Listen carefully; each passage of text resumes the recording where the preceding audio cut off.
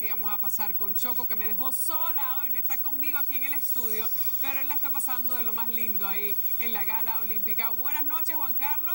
Adelante. Buenas noches, Elaine, para ti, para todo el público de Noticias Telemicro. Nos encontramos en directo acá en la Gala Olímpica 2013, donde se destaca la labor durante un año calendario de todos los atletas dominicanos. Félix Sánchez fue electo el atleta del año en la edición 2013 por la medalla de oro en los Juegos Olímpicos de Londres 2012.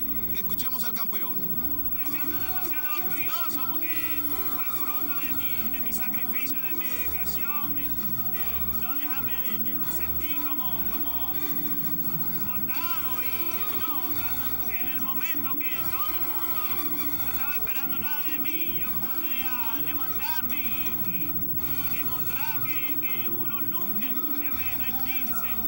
Finalmente, ¿qué te parece este cierre con Juan Luis Guerra? ¡Hey!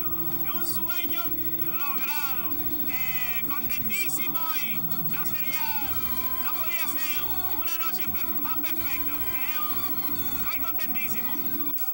Además de Sánchez, fueron premiados Brenda Castillo en voleibol, Wellington Arias en boxeo, Beatriz Pirón en pesas, Rosy Félix en esgrima, Juan Coronado en baloncesto, José Nova en béisbol, reconocimientos especiales para Geo Ripley en arte y cultura y el doctor Valdemiro Volques en medicina deportiva. La sorpresa de la noche estuvo a cargo de nuestro gran Juan Luis Guerra, quien pues está eh, disfrutando o está poniendo a bailar a todo el mundo acá en esta gala olímpica 2013 a petición del propio Juan Luis Guerra, que luego de los Juegos de Londres 2012 pues solicitó al Comité Olímpico Dominicano amenizar la gala olímpica de este año y están disfrutando a todo.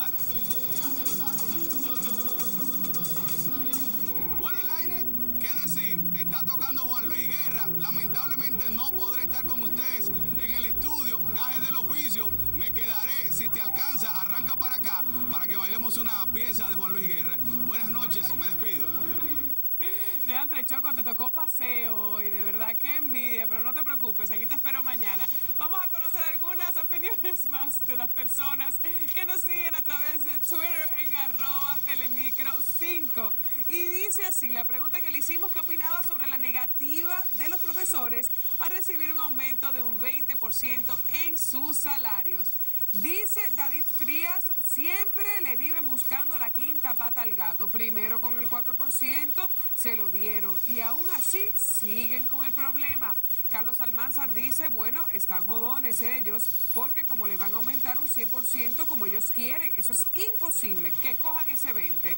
Y Wendy Hierro dice, Estoy muy molesta con respecto a esto porque eso lo que hace es atrasar más al estudiante. Esas son sus opiniones. Si quiere conocer más, solamente tiene que entrar a Twitter, arroba telemicro 5, para que vea lo que la gente piensa sobre este interesante tema. Y si desea opinar, pues bienvenido sea. Muchísimas gracias por sintonizar. Será hasta mañana, si Dios quiere y lo permite. Soy Elaine Martínez.